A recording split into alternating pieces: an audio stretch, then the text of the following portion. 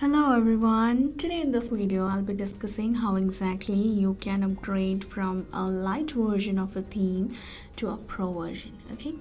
So uh, right now I'm on my WordPress dashboard and I'll take you to the themes. Over here I've got a light version of Butterbelly WordPress theme okay? Let's just go to theme option. And you can see I've got limited features over here like general setting you know top feature home page and even these settings are limited okay? So you know people usually have this kind of fear in their mind that if they upgrade their light version theme to a pro version they might lose all the data that they have got in the theme option panel of the light version.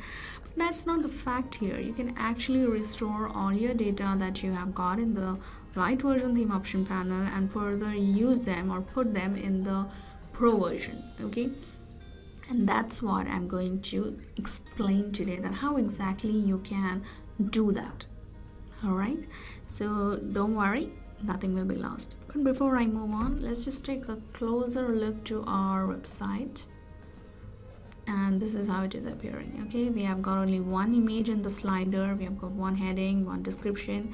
Uh, we have got the three column feature area anyway. We have got these images okay title and everything. And over here we have got three social icons. Okay. So these are the limited features. And, and yes okay um, I forgot to tell you uh, we have got this logo as well. You can see InkThemes logo. So we have got a logo as well. So right now we have got only this much data. And I'll make sure once we upgrade to the pro version we don't lose this. So how? We'll come here to theme option. Uh, we'll go to themes. We'll click on add new we'll upload a theme. And I'm just going to upload the pro version. Okay I'm just going to click here on install now alright can you see I have got the Butterbelly Pro responsive theme over here? So I'm just going to click here on activate.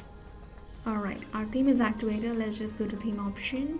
Oh no did I lose everything I had some kind of links and text and everything in my light version theme option panel and right now I just upgraded to the pro and everything is gone. Well, don't worry. This would be the scene with you, but actually you're not losing anything.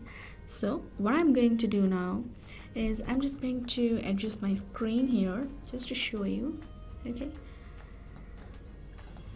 Alright. Okay. Over here I have got this another theme option panel which is of the light version butterbelly theme okay? Now what I'm going to do here is I'm just going to copy every link URL you know every every text that we have got over here heading and everything from the light version theme option panel to the pro version okay? How? For example let's just go to the general setting. We'll copy this. We'll put it up over here we'll again copy this and put up over here. Okay.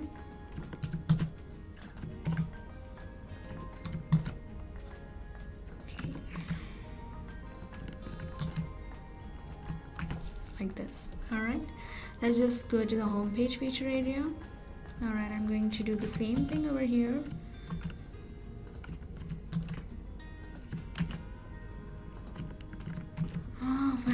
I'm very good at copying I guess. Okay um let's just copy copy copy. I've got some more.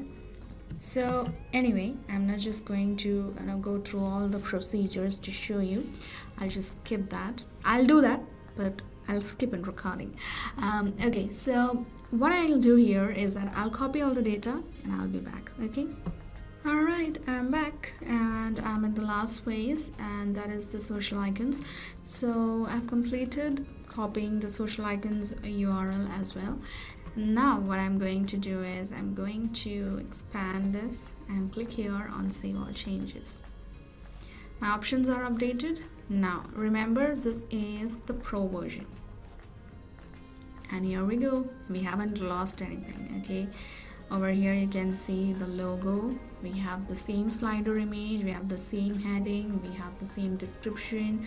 We have the same three column feature area title the feature image circle image description and even the social icons over here you can see. So in this way we upgraded from a light version of butterbelly to a pro version and yet we haven't lost anything and one more thing some uh, people use the custom menu okay? So if they have used the custom menu in the light version all they can do is they can go here to dashboard they can go here to appearance and then menu and from here they can choose whichever custom menu they last created for their light version and they can click on save changes and their custom menu will be appearing in their pro version as well so in this way you can also upgrade.